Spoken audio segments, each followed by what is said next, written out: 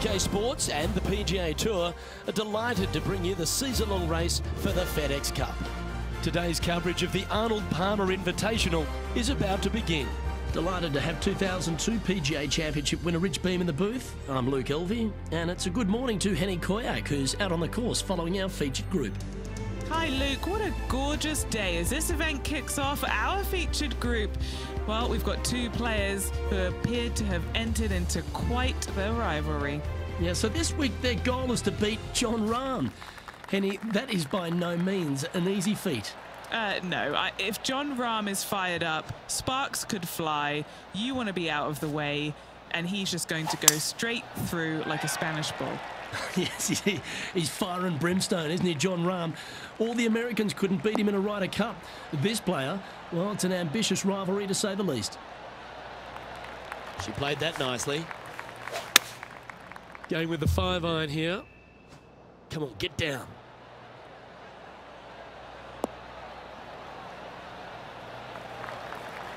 And here we are with the third shot.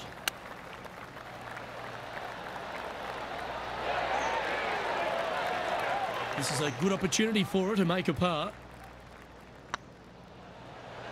Ooh, right by the hole. So it'll be a bogey on the scorecard to begin the round.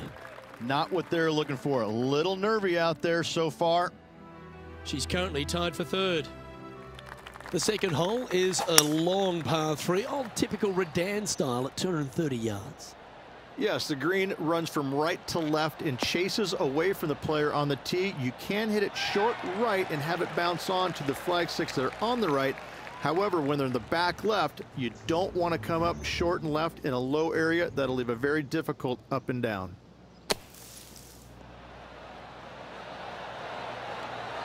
Oh, that's a beauty. Great shot from the bunker. Let's return to live play now.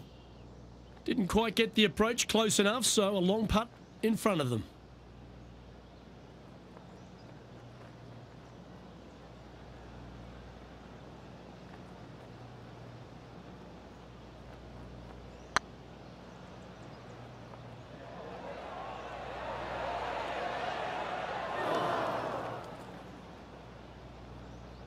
Yeah, that looked to be a bit of a misread. This putt of about seven feet to the hole. Nice little putt to hole, that one.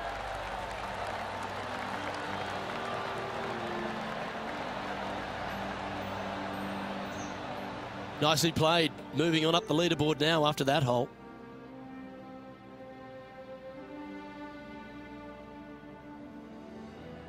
Rich, the first exposure to the famous lake here at Arnold Palmer's Bay Hill Club and Lodge is the third.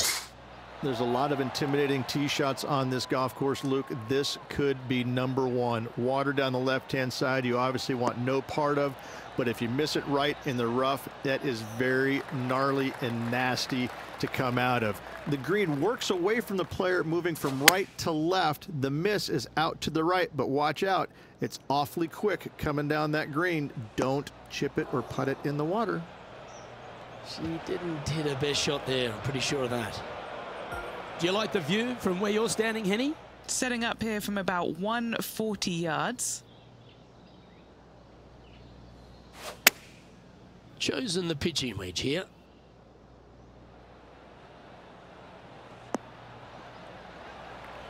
Mm, she won't be too disappointed with that. Certainly a couple of putts from there, and that'll be a good hole. What are we looking at for this putt, Henni? Setting up this putt 26 feet from the cup.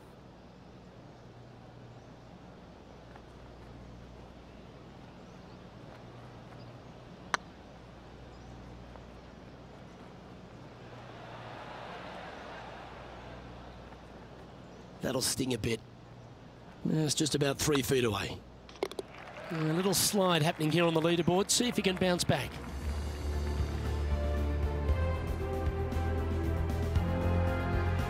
The first of the par fives, Rich, the fourth hole. Yes, Luke, you got out of bounds on the right-hand side that shouldn't come into play for the players, but those bunkers down the left-hand side certainly will. If you get a good tee shot away and you find the fairway, the second shot uphill to this par five, you can reach, but still lots of trouble lurking around this green. This one is heading towards the nasty stuff.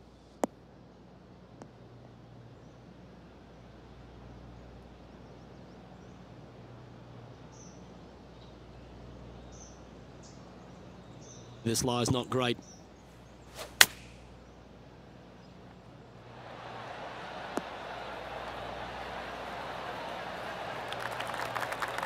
And here we are with their fourth. Five shots off the lead.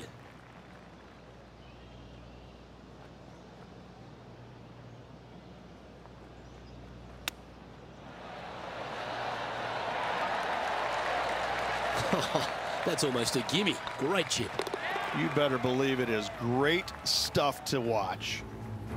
Let's catch up with Jon Rahm. Gee, that'll keep the momentum rolling, Rich. Well, when your rival plays golf every single second of the day and eats birdies for breakfast, lunch, and dinner, this is what you get. Our leader is a couple of shots up at this stage. The fifth at Bay Hill is the shortest par four on the front nine, measuring just under 400 yards, Rich. Placement off the tee, critical here. It is. It plays straight downhill the entire way, so most players not taking driver out and challenging those bunkers. Lay up short of those, and you'll have a short shot to a green that once again chases away from you at the back end of it.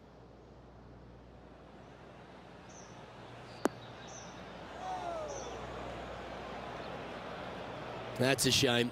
Had a chance to hit the green, but couldn't quite get there. Greens in regulation today has been absolutely abysmal, and that is reflective on their scorecard. Hmm. Well, that shot took some serious skill. And this putt to move into second spot on the leaderboard, or at least a share of it. I tell you what, there's been some great golf being played all over the course. Let's have a look at this. Oh, that's the shot. Go ahead and make one. Don't worry about getting it up and down. Let's take a look at the leaderboard as it stands. Our current leader is enjoying a two-stroke lead.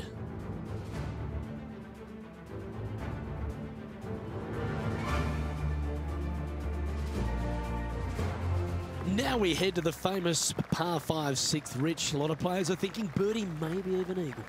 Out to the right, most definitely the widest part of the fairway, just left of the left-hand bunker out there. We'll leave a layup out to the right, and then you just have a short pitch on from there. This is a really solid birdie opportunity. Rich, I love being back at Bay Hill every time because you get to honour the absolute legend of our game, the King, Arnold Palmer. There's just an air of something extra special this week, isn't there? When you step on the property here at Bay Hill, you know you're in the presence of something special. Arnold Palmer's legacy was really built here, wasn't it? Granted, he absolutely brought everything he had to the PGA Tour, but when you come to Bay Hill and you have all the monuments, especially the statue right there to the right behind number one and number 10 tee boxes, you just get a chill down your spine like, man, this is some kind of awesome place. I cannot wait to tee it up here. And saying that, Mr. Palmer did not leave a golf course. That's very easy for these players. But listen, they come back here every year knowing that they need and they want to honor the gentleman who helped form the legacy of the PGA Tour, and that's why they're out here playing for all the money. Trailing by a stroke after that hole.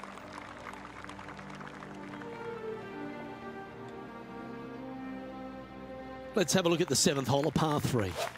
Finally, you have a green that pitches back towards you ever so slightly, Luke, but still coming into it with a good six five iron from 195 yards. It's still a difficult task to get it close.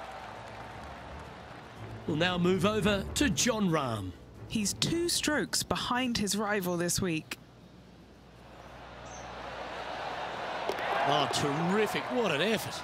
Saving one there after being all over the parking lot, chipping in for the par.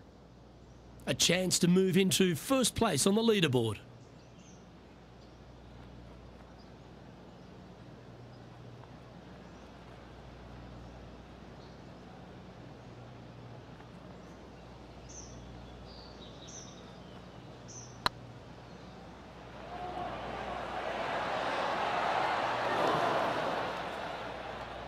That's too bad. Just three feet to go to the hole. Don't miss this. They can be costly. This for par. Sitting at three over for the day.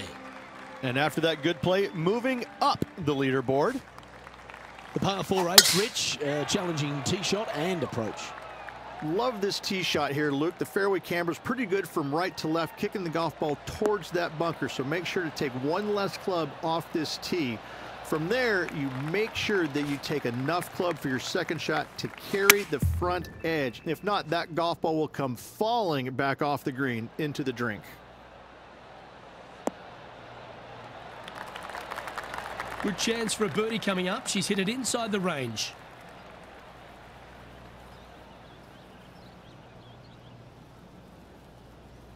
This putt coming up is for birdie.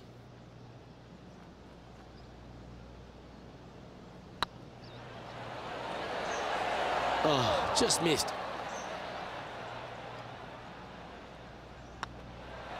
In she goes. Let's head to the next. And maintaining top spot on the leaderboard after that. Let's take a look at the final hole on the front nine, the ninth, and what a tough tee shot it is. It is it ever. Players want to avoid the bunker down the left-hand side, so inevitably they push it out to the right-hand side, into the rough, into the trees. Now they've got really very little chance of reaching the green in two. So this is probably the most difficult tee shot on this front nine and one they have to find the fairway with. Wonderfully played. Looks to be going with a hybrid here. Fingers crossed for a good kick to the left.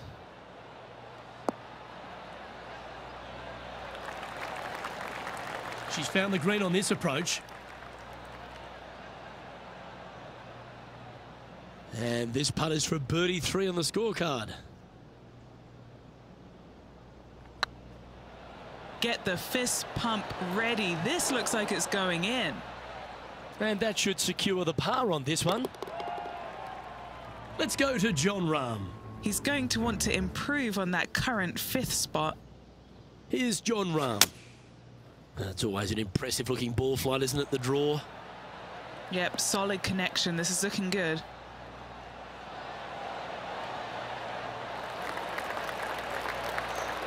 Oh, lovely looking shot into birdie range here at the ninth. And now we can take a look at how that play affects the leaderboard. Oh, this is a precarious position, if you don't mind me saying, Rich. They have the lead, but there's plenty chasing with just nine to play. Yeah, but I, I like the position. I like being out in front. That forces the other players to come catch you. I like their position. Uh, it's heading to the rough for mine.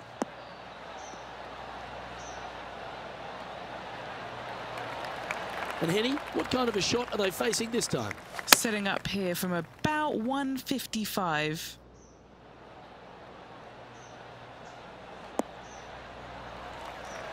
Yeah, that one will play.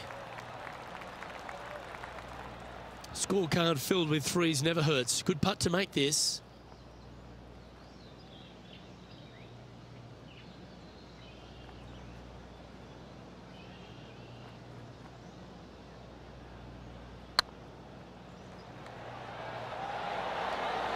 Ooh.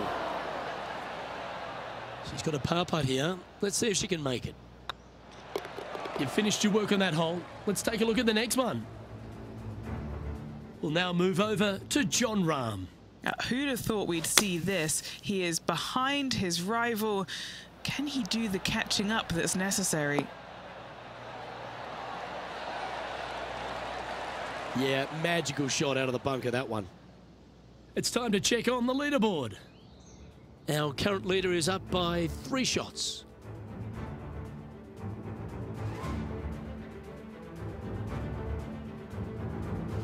The par 4 11th resembles the par 4 third, doesn't it? The big lake on the left-hand side. It does. It just has a little more landing room here on the left-hand side, however. But if you lay back, be prepared to go in with a long iron. If you take the driver out and successful, you now turn this challenging hole into almost a birdie opportunity.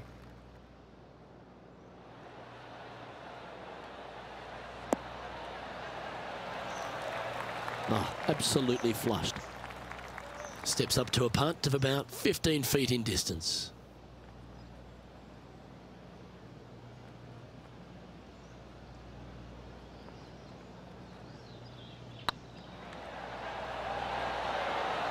Ouch, that hurts. An opportunity to make a par here. Leading by five shots after that.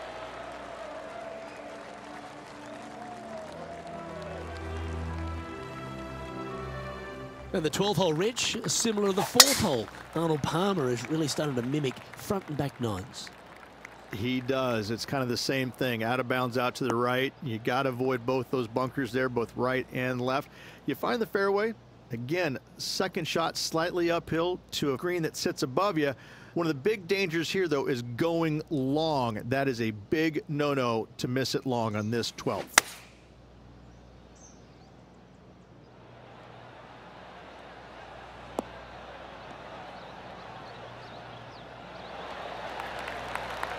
Getting ready to play their third.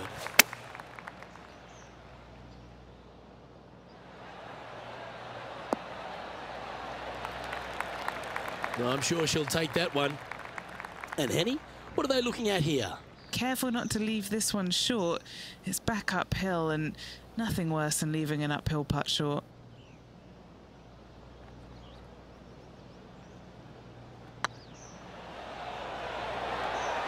He was on a good line. And this one is for her par. From the sand, looking to get up and down. Oh, stop it. What a way to make your par. Oh, that was a tasty little morsel, wasn't it? Our leader is out in front by a whopping five strokes.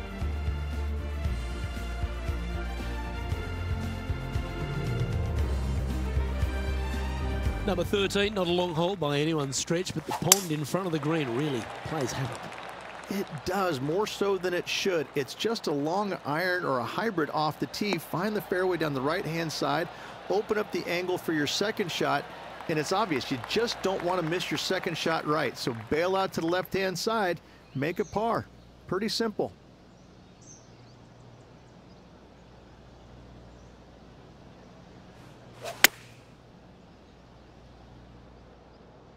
Good sounding strike, that one.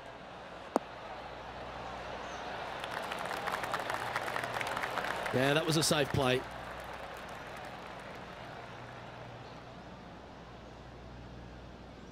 Thirteen feet to the hole. What a great opportunity here for a look at a birdie. That was a gallant attempt.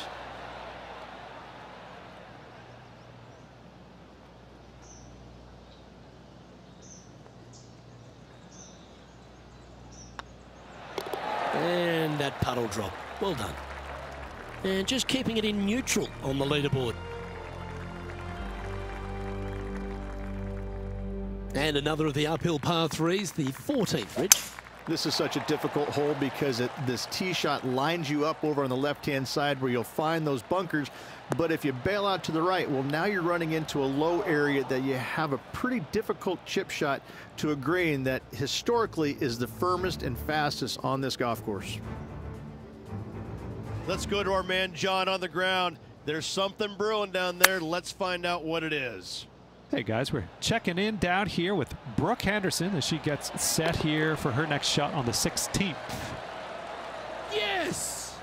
What a play from the rough. Was hoping to get on the green and does one better. Ooh, that almost went down. This is a par putt. And that puts her in first place.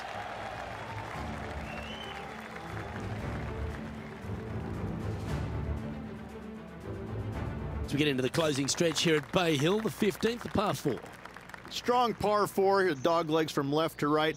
Don't miss it out to the right in that bunker. Not only are you hitting your second shot out of the trap, but also you've got some magnolia trees to deal with.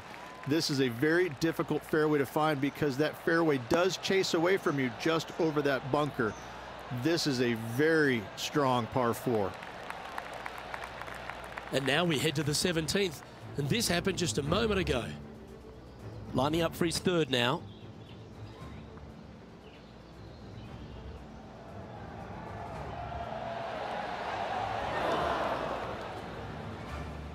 That's too bad. Put a great effort on that stroke. And back to the play, shall we? Three over for the day. Currently in the lead. This one heading to the bunker. Didn't quite have the right stuff there.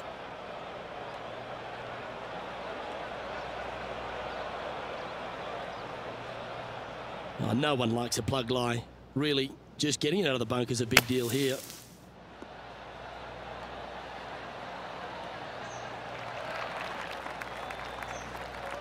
Can she make her par on this one?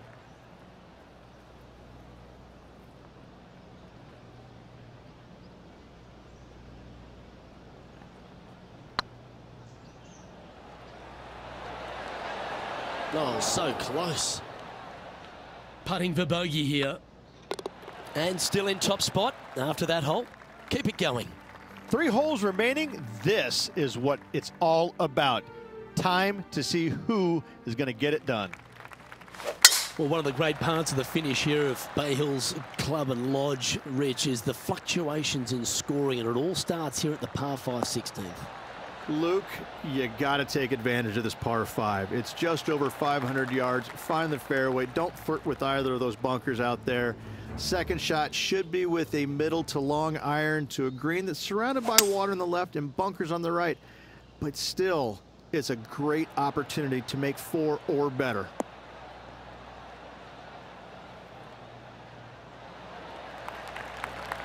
Well played, mate. Rich, good chance to get this green in two. Yes, this player's found the fairway, and now they've got the opportunity to knock this on in two. Be wary of coming up short and left, obviously in the water, but don't be anxious to miss it out to the right, especially in that bunker that's over in the middle of the green on the right-hand side. That really can wreak havoc with the players. Try and find the green at all costs with this second shot. Seven feet to the cup. Oh, gee, that line was looking good, wasn't it? Terrific shot, almost an eagle. Always nice when you can just go ahead and tap one in for birdie. Currently at plus three for the round. Two holes to go, Luke. I know who I like. The par 3 17th, Rich, has got a wonderful atmosphere around it. Looks visually quite stunning, but my word, it's a brute.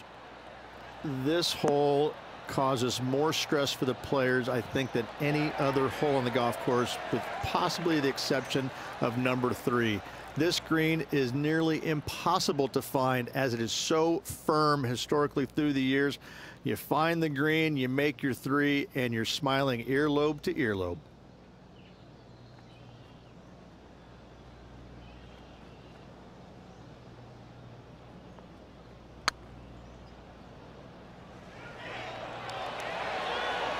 Ooh, right by the hole. That's disappointing. Just three feet to the cup. This is what they have left for par. Well, that's a phenomenal performance. The lead is now out to 10 shots. Incredible. This is quite an astonishing performance by our leader. Their advantage now out to double digits. I'm not sure if the chase back is good enough to catch them.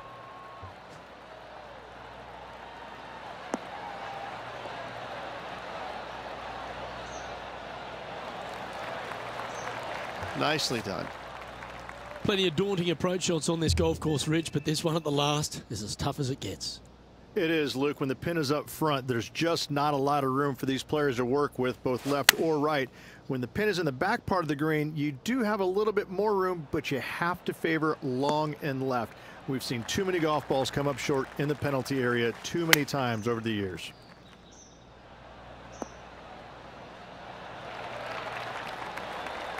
That's a good looking shot there.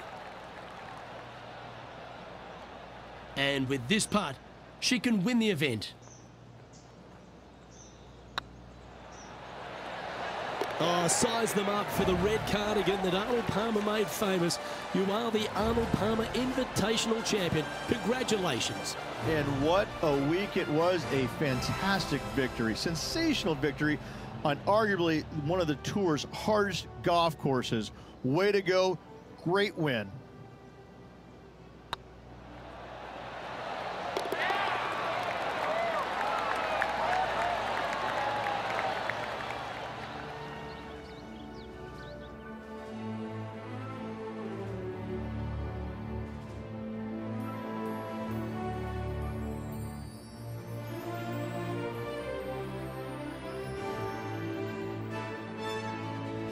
And wow, what a rivalry that was. Let's recap some of the results. Well done, Henni Koyack. Thanks for joining us on course today.